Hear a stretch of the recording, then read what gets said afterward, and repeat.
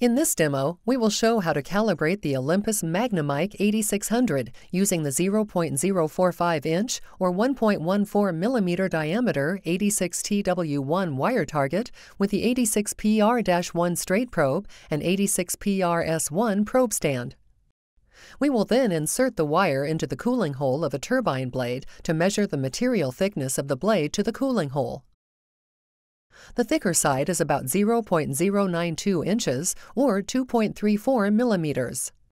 The thinner side is about 0.033 inches or 0.84 millimeters. We will be using the 86ACC-W- kit, which includes the target wires, as well as wire on fixtures and reference standards designed to be used with the wire targets.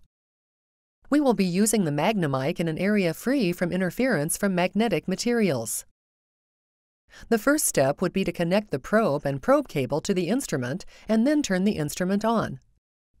It is important to let the instrument warm up for at least 5 minutes before using it so the probe can reach a steady state temperature condition.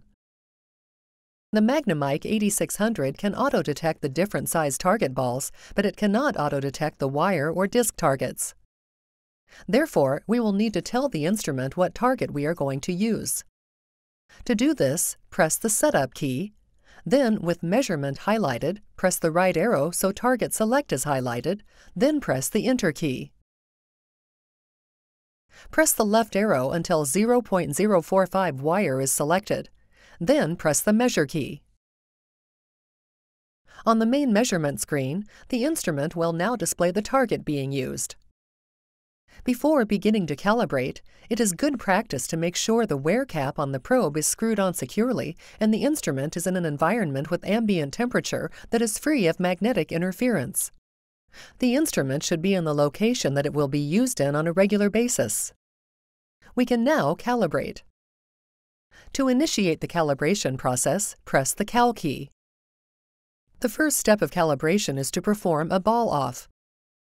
To do this, make sure the wire is removed from the probe tip, then press the Cal key. Once the instrument is done processing, the next step is to perform a ball on. To do this, take the 86 CAL-TW1 alignment fixture out of the calibration kit. Next, loosen the top cap on the fixture. Loosen it enough to allow for the wire target to be slid into the slot on the side of the fixture, then insert the wire.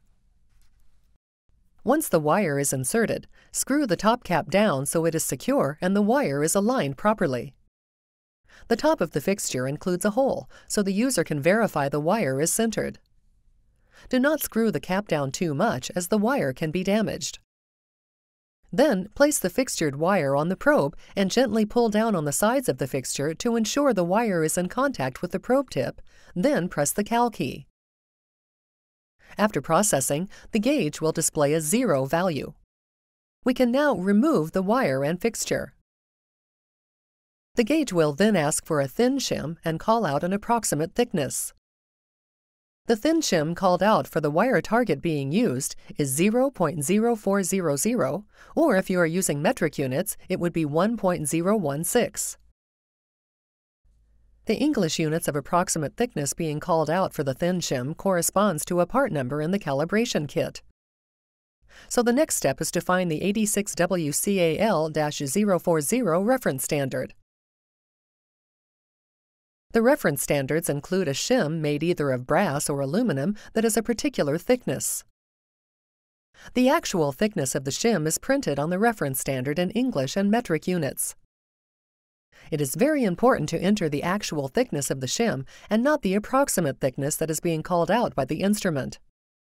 In this case, the thickness printed is 0.0404 inches or 1.026 millimeters. We will then unscrew the top cap enough to allow for the wire to be slid through the slot on the side of the fixture. Make sure that the wire is on top of the shim so that when it is placed on the probe, the shim is between the wire and the probe tip. Then, screw the top cap down enough so it is secure and the wire is aligned properly.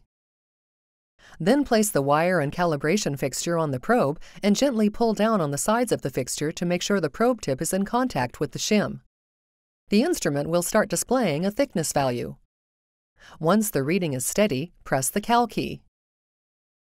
Then use the arrow keys to input the precise thickness of the shim, which in this case is 0.0404 inches or 1.026 millimeters.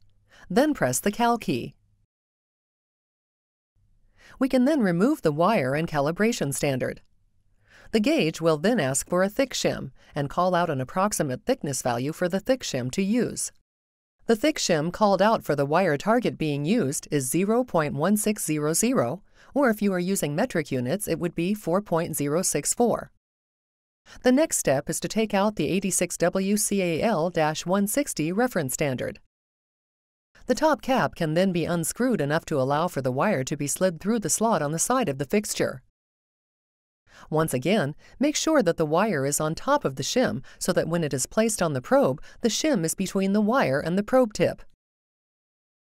Then screw the top cap down enough so it is secure and the wire is aligned properly. Then place the wire and calibration fixture on the probe and gently pull down on the sides of the fixture to make sure the probe tip is in contact with the shim. The instrument will start displaying a thickness value. Once the reading is steady, press the Cal key.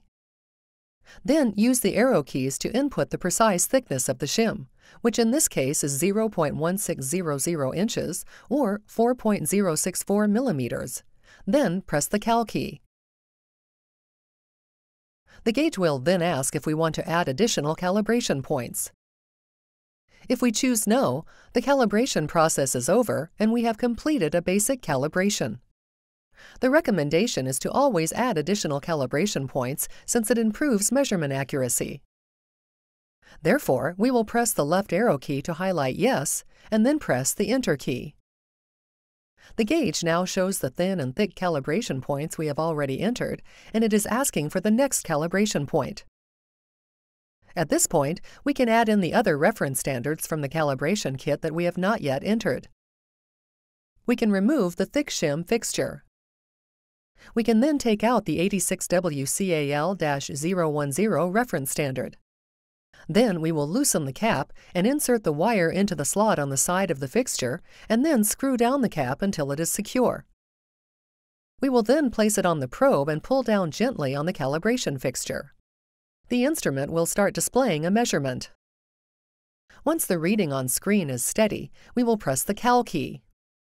Once the instrument is finished processing, we will use the arrow keys to change the value to the exact thickness of the shim, which in this case is 0.0101 inches or 0.257 millimeters. We will then press the Cal key, which will add the thickness to the list of calibration points.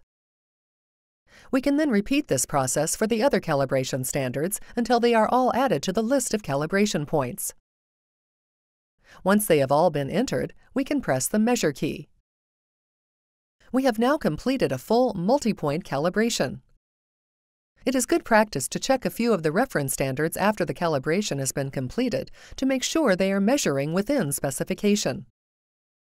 If they are not, you can try removing the target from the probe tip and then pressing the QCal key. We will check the 10 thousandths of an inch shim to make sure it is measuring within specifications, which it is. Then we will check the 80 thousandths of an inch shim to make sure it is measuring within specifications, which it is. So once we have confirmed the reference standards are measuring within specifications, we are now ready to make measurements on the actual part. The true thickness will be when the target is directly over the center of the probe tip, which also corresponds to the minimum thickness measurement. The gauge will read a thicker measurement when the part is misaligned. For this reason, it is recommended to enable the minimum capture feature. To do this, we will press the minimum maximum key and then enable minimum to on by pressing the right arrow.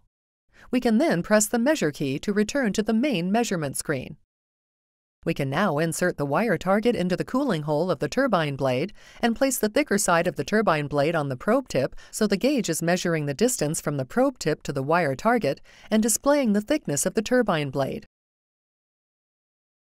At any time, we can press the Measure key to reset the captured readings. We can scan along the length of the part and also rotate the part. The minimum thickness will be updated as we scan. We can press the Enter key to freeze the measurements on screen so we can rotate the part to measure the thinner side without capturing false readings. Once the thinner side is in contact with the probe tip, we can press the Enter key to unfreeze the measurements and the minimum thickness will be updated. These measurements can be saved to the internal data logger of the instrument, or they can be sent directly to a spreadsheet. Now, if another target is used and the customer wants to recall the setup for the wire target we just used, they can press the File key and then keep pressing the down arrow until the Cal Recall is highlighted. Then they can press Enter. Here we see a list of calibrated targets. The user can highlight the 0.045 wire target and then press Enter, and then enter again on recall. Whenever you recall a calibration file, it is always recommended to remove the target from the probe tip and perform a QCal by pressing the QCal key. It is also good practice to then check a few reference standards to make sure the instrument is reading within specification and a new full multi-point calibration is not needed.